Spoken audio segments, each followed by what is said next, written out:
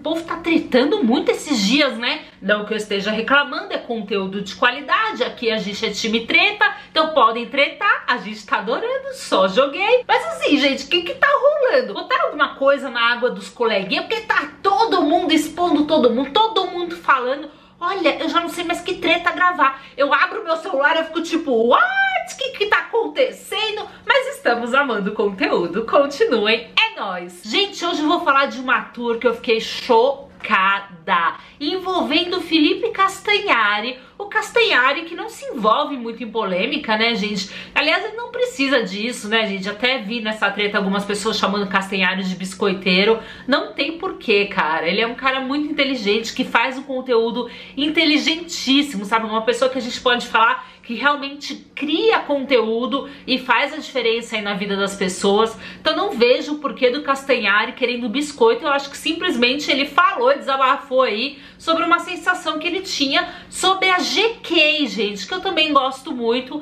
mas eu confesso para vocês que eu fiquei bem chocada com o que o Castanhari falou. Ele foi num podcast dar uma entrevista no Groselha Tal, que é apresentado pelo Muca, né, gente? Foi lá, deu entrevista tal, e é impressionante como em podcast, né, parece que a coisa sai, né? Porque é ao vivo, não tem edição, não tem cortes, então as pessoas vão fazendo as perguntas, você vai respondendo e você acaba falando, né? Você acaba entregando ali uma coisa ou outra. E aí o Muca perguntou pro Castanhari se ele iria na farofa da GK. O Castanhari namora bastante tempo a Nive, né? Então o Castanhari falou que não, que não tinha sentido que ele namora a Nive, porque lá todo mundo vai só pra pegação e tal. Aí o Muca falou, não, mas teve gente que foi em casal e tá tudo bem, foi só pra curtir a festa.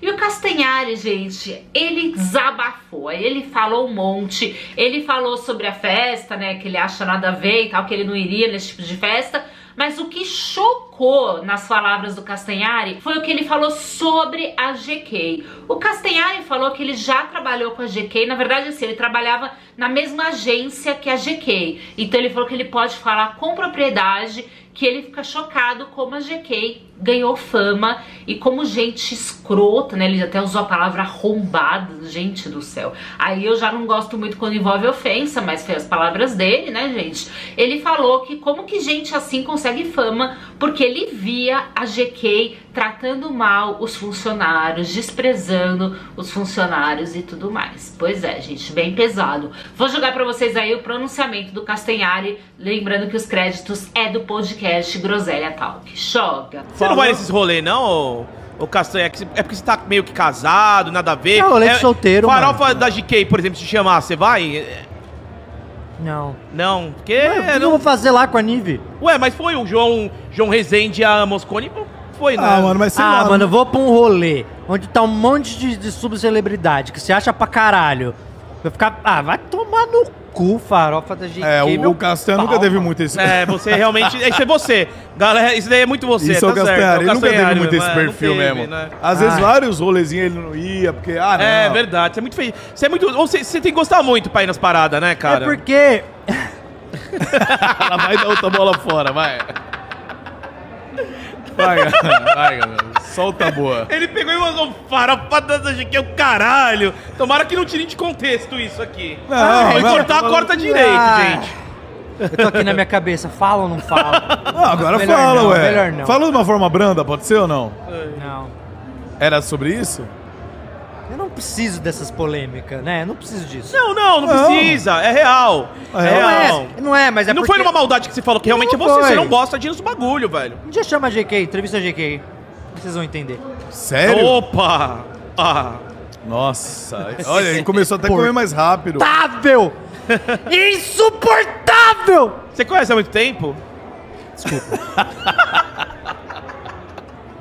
Não, eu entendo, eu entendo. Eu não... Insuportável. Eu mano, eu queria entender por que tanta gente arrombada com- fica muito famosa. Bom, vem perto, você tá muito exaltado. É, Ah. melhor mesmo. Eu não. sa- Sabe qual é a minha. A minha. A linha que eu desenho? A linha tênue. A li- a- qual, qual é a linha limite pra mim do tipo, tá, essa, re- essa pessoa é arrombada, ela não merece A linha do arrombamento, nem você. o mínimo de, de moral minha. É quando maltrata a gente que trabalha com ela. Ah, isso é E bad, como eu já fui da é mesma bad. agência dela, e, tive, e, e- e tive as mesmas pessoas trabalhando comigo que trabalharam com ela, aí você sabe quem são as pessoas. Eu não admito quem, quem maltrata pessoas que trabalham com, com, com ela.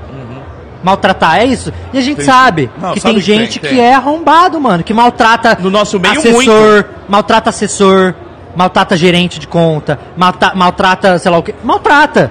Porque se acha pra caralho. Tá acima de tudo. Se- e, mano, se acha por quê, meu irmão? O que que você fez?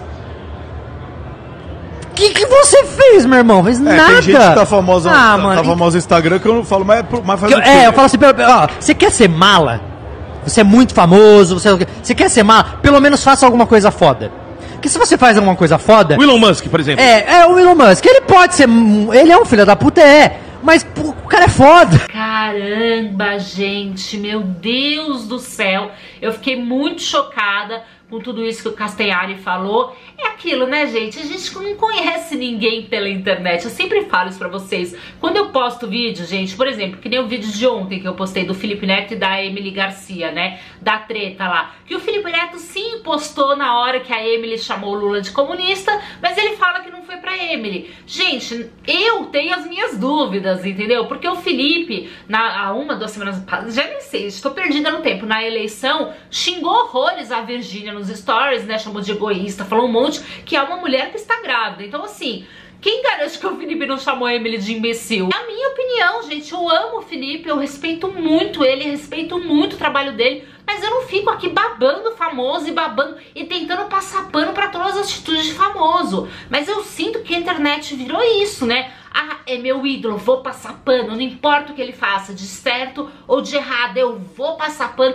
E não é isso, cara, a gente não conhece ninguém pela internet, eu falo isso pra vocês. Ai, porque meu ídolo eu conheço 100%. Não, você não conhece. O seu ídolo mostra o que ele quer mostrar na internet. A sua ídola mostra o que ela quer mostrar pra vocês, né? Que muitas vezes é um personagem, gente. Você não sabe o que acontece dentro da casa da pessoa, dentro da vida, a relação dela com os amigos, como ela trata as outras pessoas, você não sabe. Então, assim, eu não posso, gente, eu não tenho como saber se é verdade o que o Castanhari falou, mas também não vejo motivos dele mentir sobre isso, mas o fato é que a GK não se pronunciou sobre o assunto. Acredito que nem vá, vai deixar morrer. É aquela coisa, né, gente? Eu acho que se fosse mentira totalmente, acho que ela se pronunciaria, mas aquilo vai deixar morrer o assunto e não vai comentar. Mas eu confesso que eu fiquei bem chocada aí com esse exposed que o Castanhari fez sobre a GK. Complicado, né, gente? Qual a opinião de vocês sobre tudo isso? Que treta? Comenta aqui embaixo. Vocês sabem que nesse canal vocês têm espaço livre pra comentar tudo que vocês quiserem. Então bora comentar aqui embaixo. E é isso, meus amores. Eu vejo vocês mais tarde. Assim que tiver treta, eu tô aparecendo.